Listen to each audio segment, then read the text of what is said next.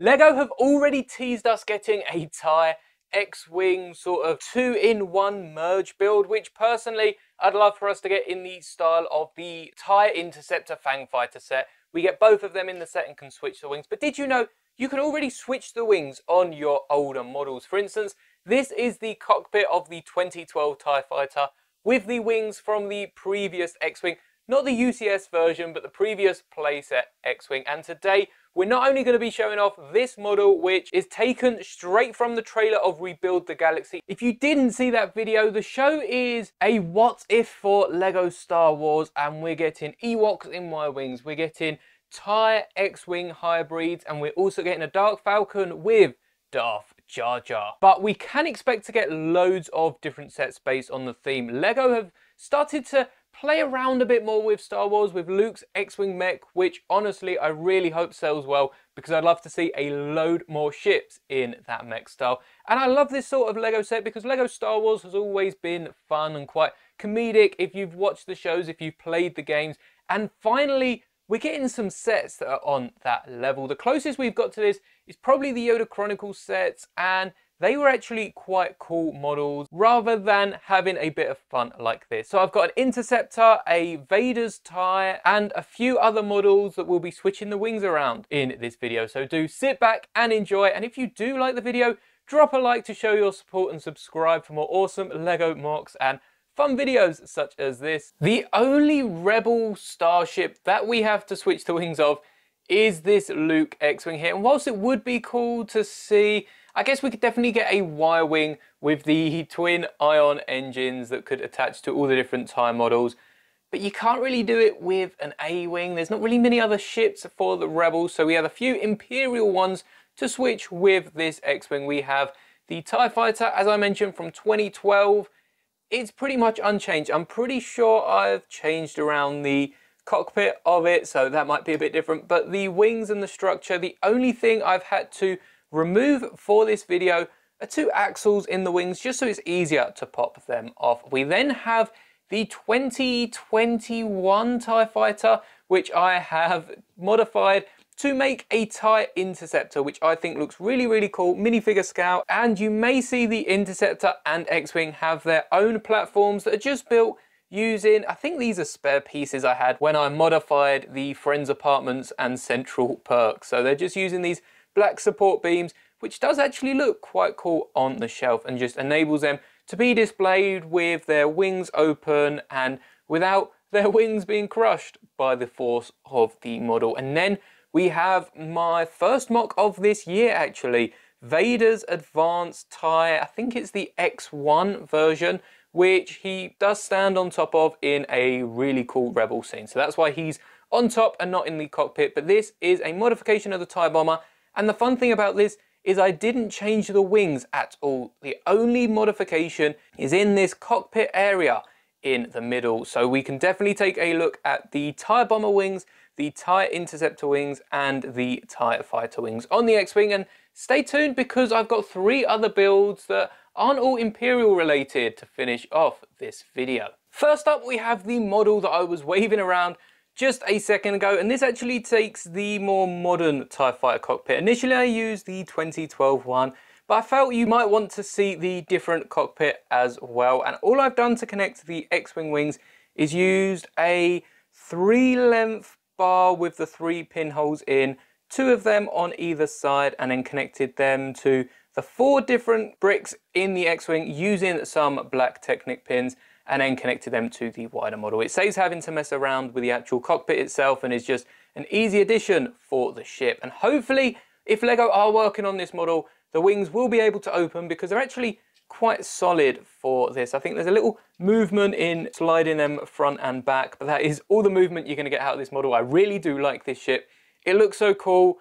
And the other one is just absolutely cursed. There is not really a selling point for Lego on this ship. It just looks so, it's just so weird. You've sort of got the worst from the two models, if I'm honest. I definitely prefer the cockpit of the TIE Fighter with the X-Wing wings. That looks super cool. This just looks like the leftover pieces. This is what you were trying to build with the MOC, and this is what you built with the pieces left over. I think that's the perfect explanation.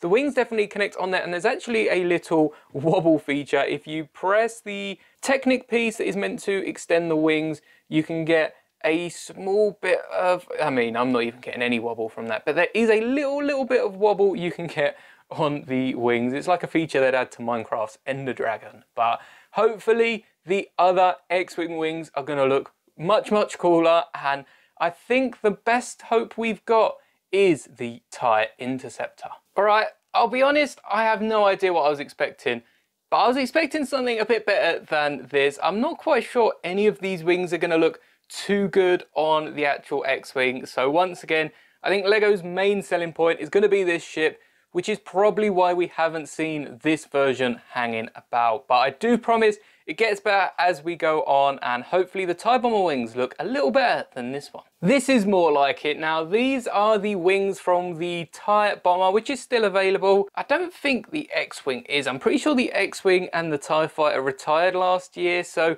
we're in desperate need of one soon. Fingers crossed for August, September, sometime around that we'll be seeing the newer models. But you can see the wings actually have a slight angle.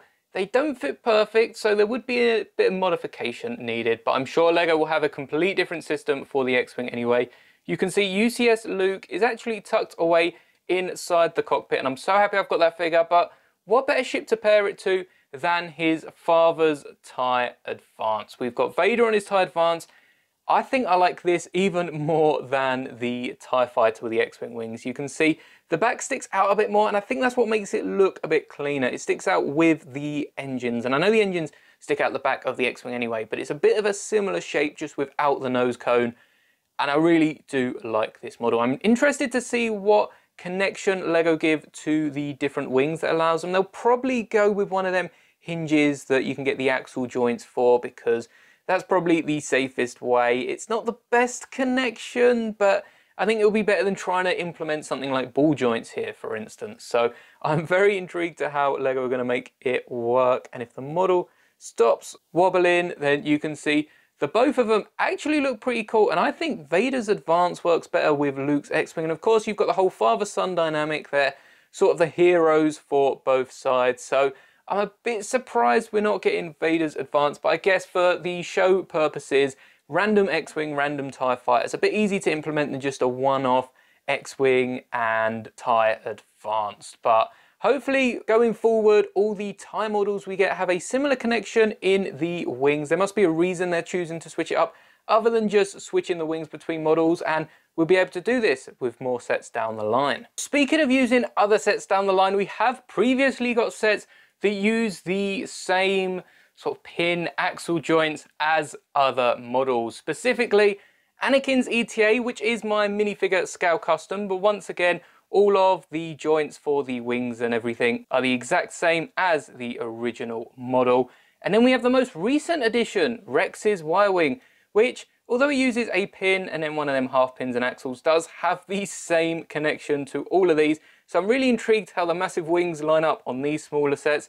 And then we've got the AT-AT. I have modified this, taken a joint out the leg so it can stomp around my Lego city, but the connection just at the top here is the exact same as on all of the models. You've got the two different pins with the pin in between, and really anything that goes by that standard would work with any of these wings. So let's switch these around and take a look at what they look like. I think we have the best looking model of the video. What I've done is taken Anakin's ETA cockpit, which I'm pretty sure is unchanged from the original model. I don't think I changed anything in making it minifigure scale because of this massive cockpit piece, but it's got the wings of the X-Wing. It is a shame that I haven't modified these to open. I think this would look really, really cool. It's even got the flip fire missiles just underneath. I think that actually makes it look better because it's then the depth of the ship as well. But I really like how the X-Wing ETA, the ETA X-Wing turned out and I had to whack some wings on the AT-AT. I've whacked the TIE Fighter wings, I tried the Interceptor and Bomber wings, they didn't work out. Even the TIE Fighter wings are wobbling a bit, so the AT-AT really needs some support. It's on the X-Wing sort of dock there, but it definitely needs the four legs to hold it up. I think the X-Wing wings look so funny on it. And if you had, perhaps if you had two X-Wings and you put wings at the front, wings at the back, and they were able to fit in that gap, it might be all right holding itself up, but these are the older wings as well. So they're a bit flimsy, a few big plates have been used and there's not much support, but that is hilarious. And I think the only thing left to do is whack the interceptor wings on the ETA, they're very similar, and try the bomber wings on each other. Well, this didn't turn out anywhere near as good as I'd hoped. It looks like it's squished Anakin's ETA and Rex has more of a roll cage than anything. In fact, I think this would roll better than the new Droideka. It does roll pretty well, but I think an amazing combination are these X-Wing wings on the AT-AT. That looks scary. That looks like a massive ship. And if you saw any sort of ship with a head coming towards you, I know I'd be flying in the opposite direction. The only modification I've really needed is to take the tip off the back wings here and remove this middle plate to make space for the engine. But this looks super cool. I've definitely got half a mind just to display these with different wings and mix them up and make them look good. It doesn't really work for the smaller ships, but you could definitely switch a few of the different TIEs. If you would like to see a part two to this video and see me either whacking the AT-AT legs on everything because that would look hilarious. Or perhaps you'd rather see me mix a few more of the Imperial vehicles, such as Vader's TIE with the other two wings and vice versa.